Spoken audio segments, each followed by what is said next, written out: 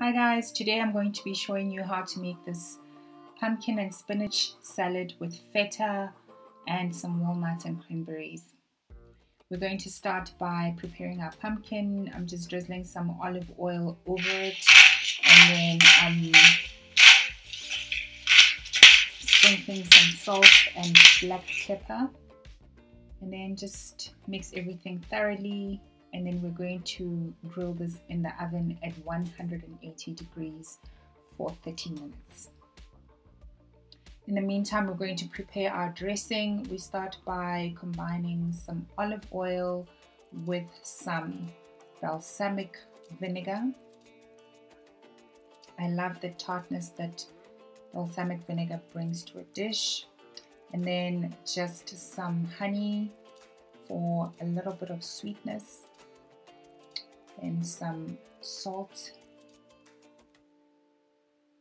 and some freshly cracked black pepper as well. And you're just going to mix that and set that aside. To assemble the salad, I'm starting with some baby spinach and cos lettuce, and then I'm going to put in my cooked pumpkin. You can use pretty much any greens you like here. I just love baby spinach and lettuce in the salad. And then we're going to sprinkle some walnuts into the bowl.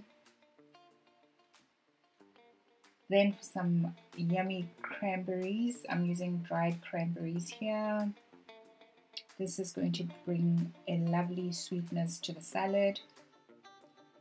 Then sprinkle some pumpkin seeds.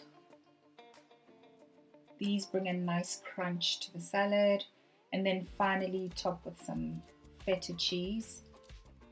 Oh, the creaminess that this brings to the salad is just amazing.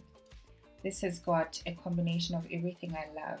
The crunch from the seeds and the walnuts, the soft sweet pumpkin, the cranberries that bring a sweetness, the creaminess from the feta cheese, and then this tartness from the balsamic vinegar in the dressing. So, so yummy.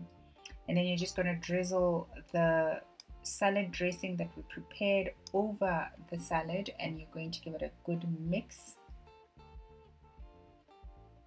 And then you're just finally going to sprinkle some walnuts and feta cheese over the top of the salad. And that is it. This salad is wonderful even when it's served cold I just love it so much. I hope you try this recipe and let me know what you think in the comment section below. Cheers.